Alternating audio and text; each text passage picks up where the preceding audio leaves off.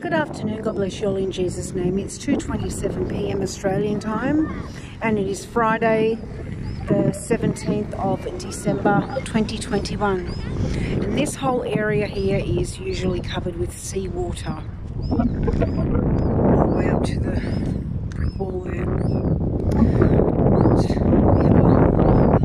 lovely low tide today, some blue sky some water and Lola in her bike. I let her out before but she kept running up on the grass and usually there's a lot of big dogs around here and I'm worried about her getting attacked. So I've clipped her back into her seatbelt in the bike. She does not like going into the water. She's scared of it. Oh, it's cold. But I'm going in in my clothes because I have been wanting so much to get into the seawater. But they keep playing with the weather. So now I'm knee deep in this beautiful, beautiful salt water. As you can see, it's low tide over there too. There's a sandbar and a little island you can actually walk onto how nice it is. It's cold, but not that cold. You see, yes, I am in the water. Oh, it's starting to warm up.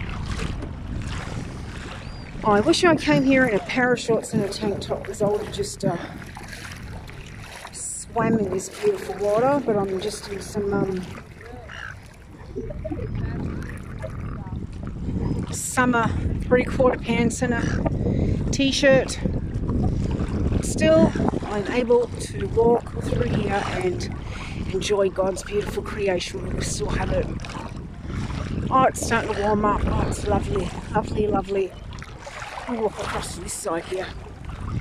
So nice. This place is usually packed with families. They come from everywhere. Most of them come from Sydney because all the beaches in Sydney are pretty ugly, especially Bondi. I don't know why Bondi is so famous. It's like an iconic beach. I've been there hundreds of times. I lived there in the 80s. I don't like it. I think it's pretty ugly. My opinion anyway. Now I'm on the sandbar. This is usually deep, but not too deep water. Lola's still there in the bike. And I want to take you for a walk across this sandbar to the other side. If you can see where that island there is, it's Windang Island. You go in between the rocks there and it takes you out to the sea. That's the beach behind there. And it takes you out to the Tasman Sea. If you keep going straight, you'll end up at New Zealand. So,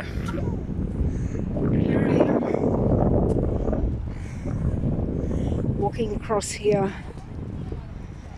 feeling the gentle warm breeze. Look at the water. Oh my goodness, this water is actually warm.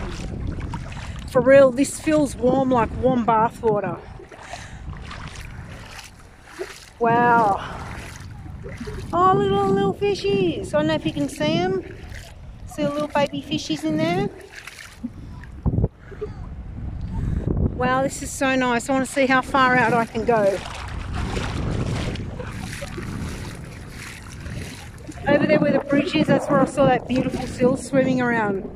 And I heard from a couple of locals that that seal is like a resident to Lake Illawarra here. He's always here every summer swimming around on his own. Oh, my feet are sinking in the sand. Oh, so I'm gonna walk back here. I just wanted to share this with you.